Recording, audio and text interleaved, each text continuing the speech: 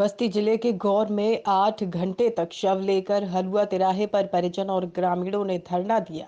पाँच बिंदुओं पर जाँच कराने और कार्यवाही करने की मांग पर अधिकारियों का आश्वासन मिलने के बाद परिजन मान गए और ग्रामीण शुक्रवार की सुबह पेड़ से लटका मिला था 22 वर्षीय श्रवण वर्मा का शव।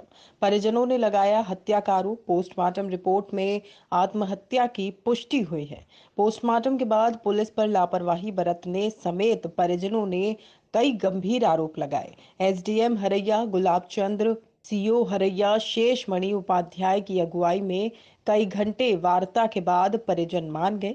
राजकुमार वर्मा राम अभिलाष नीतीश कुमार सहित तीन अज्ञात लोगों पर श्रवण के परिजनों ने हत्या का आरोप लगाया है।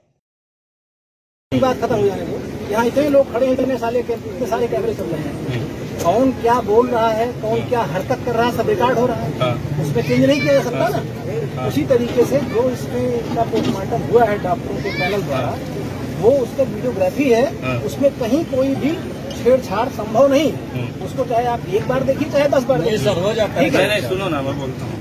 दूसरा जो मुकदमा था आपका वो लिख दिया गया। हाँ। ठीक?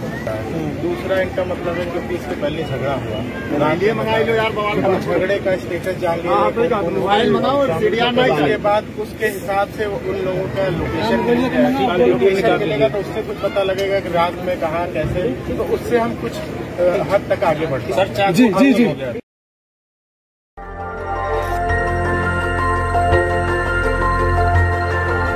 देखते रहिए डीबी भारती समाचार नज़र हर खबर पर।